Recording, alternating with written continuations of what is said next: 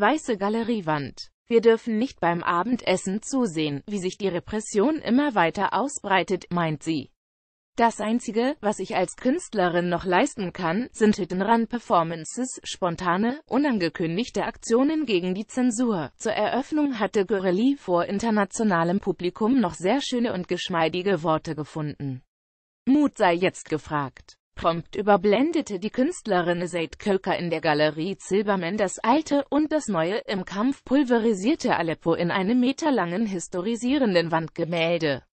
Inzwischen sitzen viele Galeristen und Künstler auf gepackten Koffern, man spürt die kalte Angst von Flucht und Exil, so als sei 1933 plötzlich zurück.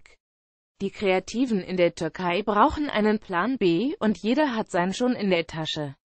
Der Chef der avantgardistischen Galerie X ist, Dario Beschgenesi, sagt, ich bin Jude, meine Familie lebt hier in Istanbul seit 1492.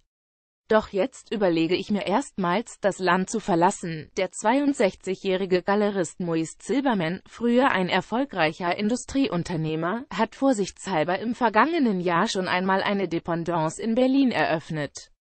In Istanbul beweist er gesellschaftskritisches Engagement, in Charlottenburg war zuletzt ein eher poetisches Bildergeflecht zu sehen, The Red Gaze. Die Kuratorin Schula mit Bruckstein-Koru hat dort orientalische und westliche Bildwelten in Berührung gebracht. Von so viel kuratorischer Intelligenz könnten sich die Macher des künftigen Humboldt-Forums, die noch die große Synthese suchen, eine Scheibe abschneiden. Ich bin Pessimist, aber ich glaube an die Dynamik der Türkei, sagt Moist Silberman auf seiner Istanbuler Galerie-Couch. Logistisch rüstet man hinter den Kulissen schon auf. In diesem Jahr wird die Kunstmesse Contemporary Istanbul, zeitgleich mit der Istanbul Biennale, im September ausgetragen. Es soll dann eine Art Week geben, mit Biennale, Kunstmesse und Vernissagen, sofern die Politik es zulässt.